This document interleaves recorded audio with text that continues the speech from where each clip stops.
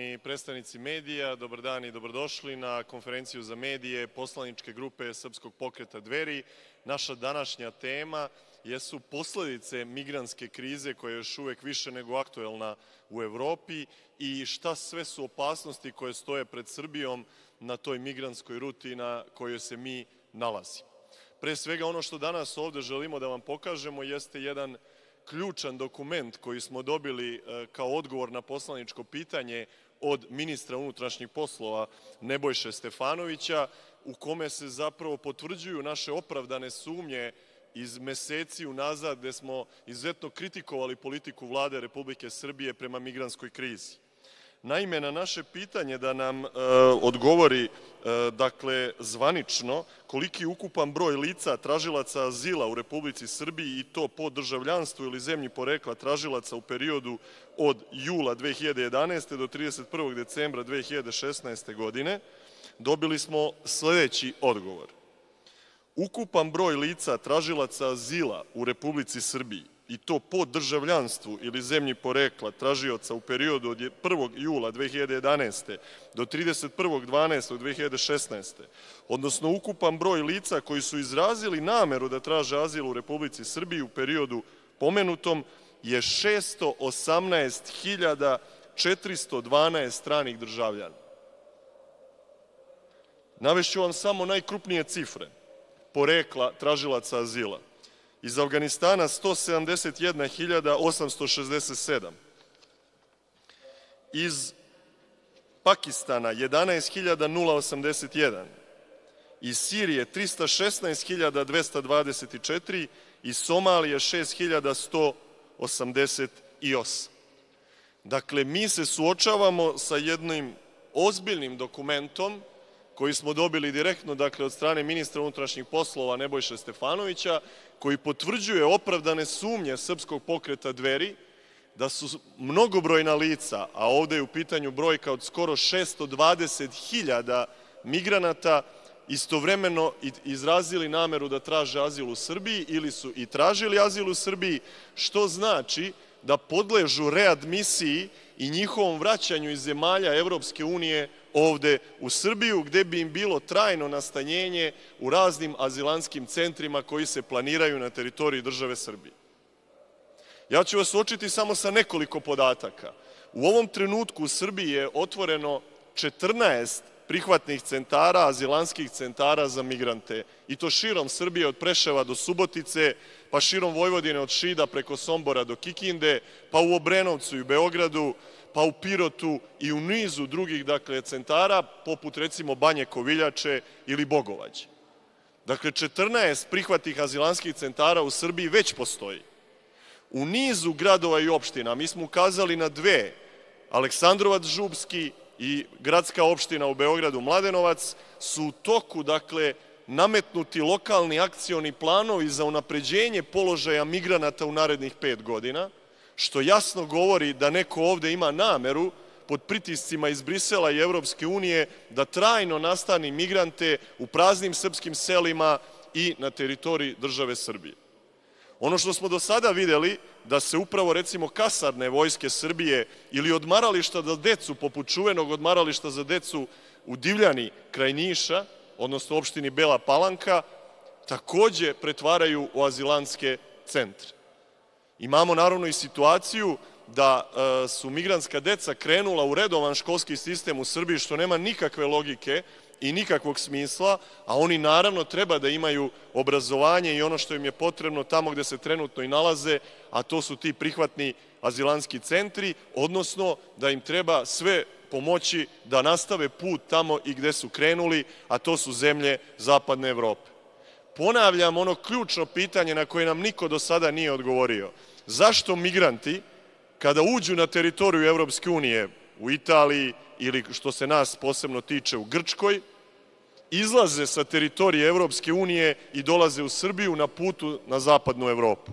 Zašto ne nastave put iz Grčke preko Bugarske, Rumunije, Mađarske i onda dalje prema onim krajnjim ciljevima zbog kojima su i krenuli? Zašto neko želi da Srbiju naseli migrantima? Zašto će prazna srpska sela biti krajnja destinacija svih onih koje Evropska unija u jednom trenutku bude proterala i putem readmisije naterala da se vrate tamo gde su tražili azil kada su ušli u Evropu. A 620.000 njih, kao što ovde vidite, tražilo je azil u Srbiji. I Evropska unija i Brisel imaju potpuno osnov da jednoga dana od Srbije naprave najveći azilanski centar u Evropi. Konačno, kako je trenutno stanje? Evo ovde predavno mi, a vi ćete dobiti ove dokumente, i prilog Komesarijata za izbeglice i migracije, koji jasno govori o trenutnom stanju u kome se u Srbiji nalazi 4000 migranata u ovih sada 14 prihvatnih azilanskih centara širom Srbije. I jedan podatak je posebno interesantan. Od tih 4000 migranata koji su trenutno na teritoriji Srbije, samo 2,4% su iz Sirije, odnosno iz ratom zahvaćenih područja. Svi drugi migranti dolaze iz Afganistana, Iraka, Pakistana, Irana, dakle ovih preostalih 97 i nešto više posto koji trenutno borave u Srbiji. Dakle, ko to eksperimentiše sa građanima Srbije, ko to nama nameće lokalne akcione planove za unapređenje položaja migranata u narednih pet godina, šta aktuelna vlast na čelu sa Aleksandrom Vučićem namerava u narednih pet godina da li da od Srbije napravi jedan trajni azilanski centar za ovih 620.000 tražilaca azila u Srbiji. Ovo su veoma ozbiljna pitanja, ovo su veoma ozbiljne dileme i vi ćete onda razumeti zašto je delegacija narodnih poslanika Srpskog pokreta Dveri pre nekoliko dana bila u Mladenovcu, zašto smo tražili da prisustujemo sednici Gradske skupštine opštine Mladenovac i da dobijemo informaciju zašto Mladenovac, primera radi, donosi lokalni akcioni plan za unapređenje položaja migranata od 2017. do 2021. Trenutno migranata u Mladenovcu uopšte nema. Postoji odluka vlade iz 2012. i 13. da se tamošnja kasarna Vojske Srbije u selu Mala Vrbica pretvori u azilanski centar i sada jasno vidimo da donošenje lokalnog akcionog plana za unapređenje položaja migranata u narednih pet godina ima za cilj da ih neko tamo trajno naselji u mladenovačkim selima. I za to da izdvoji 2 miliona evra iz budžeta ove najsiromašnije beogradske opštine.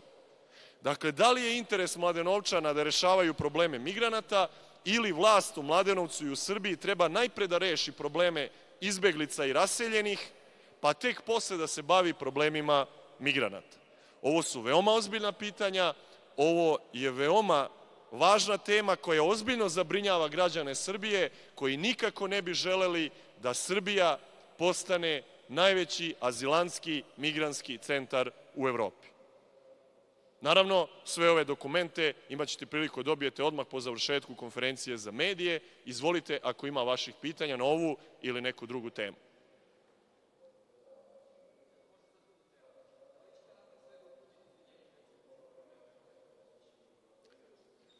Nisam vas razumeo. Pa opet vas nisam razumeo zbog čega.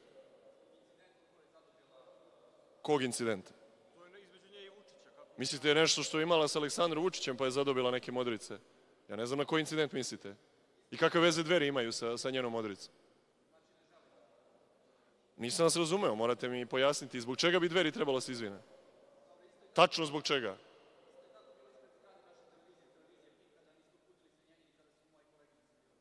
Aha, vi ste sa Pinka, pa što se ne predstavite lepo, da znamo da je to partijska televizija Srpske napredne stranke. Evo ovako. Dakle, ja odmah e, vas pitam zašto nama već nedeljama Željko Mitrović ne odgovara da li je uzeo kredit u visini od 27 miliona evra i da li je 5 miliona evra uplatio na jedan račun Ukrajini kao mito odnosno korupciju za onoga komu je dodelio taj kredit od 27 miliona evra. Kad nam odgovori Željko Mitrović na to pitanje, dobit ćete odgovore na vaša pitanja.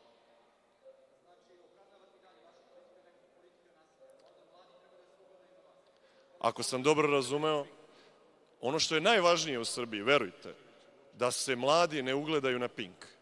Da se mladi ne ugledaju na Željka Mitrovića, na zadrugu, na reality programe i na ono što vi radite na televiziji Pink kao partijska televizija Srpske napredne stranke. Ja ću uvek odgovoriti na vaše pitanje. Vi znate da sam u više navrata ispred zgrade Pinka odgovarao na pitanje vaših novinara, da nikakvih incidenata nije bilo, a to što ste vi posle toga izmišljali i što mislite da oklevetate Srpski pokret dveri kao najjaču opoziciju u aktualnoj vlasti u ovom trenutku, to je prirodno za jednu partijsku televiziju. Ja razumem vašu ulogu.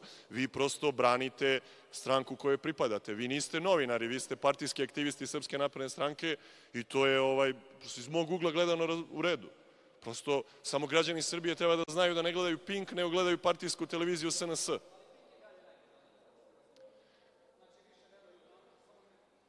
Pa pazite, to će biti možda tako do onog trenutka dok ne bude vam ukinuta nacionalna frekvencija i dok Željko Mitrović ne završi u zatvoru a mi vam kao dveri obećavamo da će to tako biti.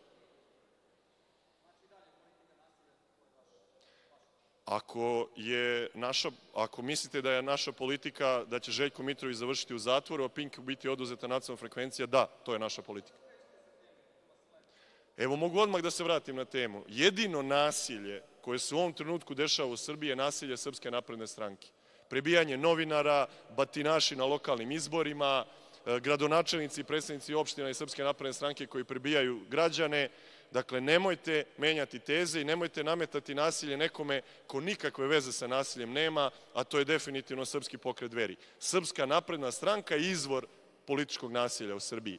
To su fašističke metode, upravo one kojima se koristi Srpska napredna stranka i neće uspeti da nekome drugome prebaci ono što ona radi. Da vam navedem i konkretan primjer što se priče nasilja nad ženama porodičnog nasilja. Evo, molim vas, ispitajte slučaje prebijanja supruge Siniše Malog, gradonačelnika Beograda, ispitajte slučaje prebijanja bivše žene Marijana Rističevića i vidjet ćete ko su nasilnici do ženama.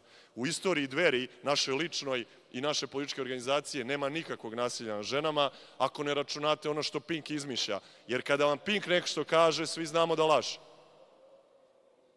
Izvolite ako ima još vaših pitanja.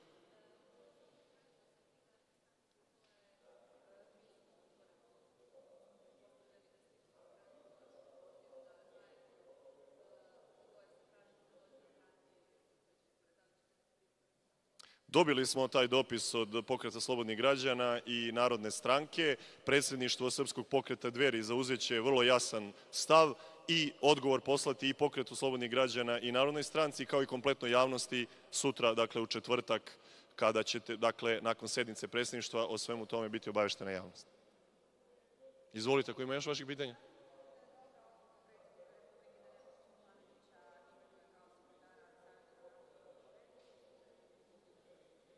To je izuzetno dobra odluka koja u potpunosti oslikava besmisao e, onoga načina kako Srpska napredna stranka vodi službe državne bezbednosti u Srbiji.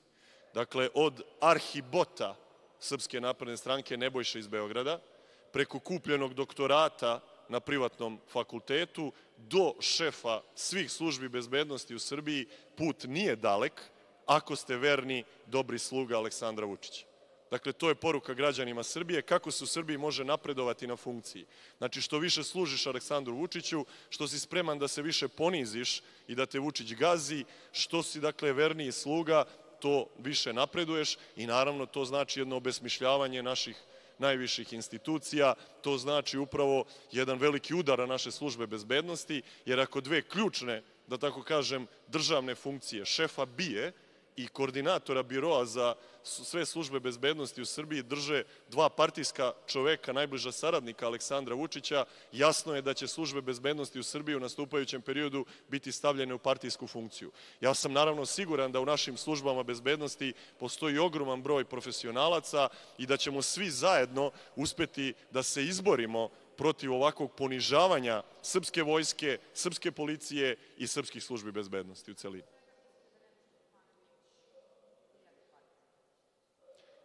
Ja vam kažem, Nebojša Stefanović je pre svega stranački bot Srpske napredne stranke.